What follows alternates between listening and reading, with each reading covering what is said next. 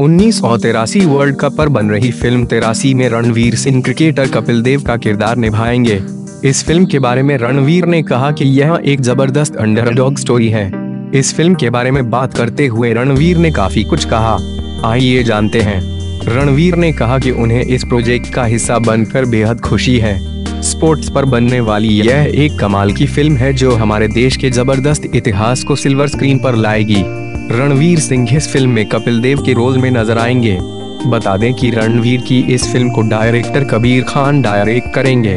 रणवीर ने कहा कि वे कबीर खान के साथ काम करने को लेकर बहुत उत्साहित हैं। बजरंगी भाईजान उनकी पसंदीदा फ़िल्मों में से एक है।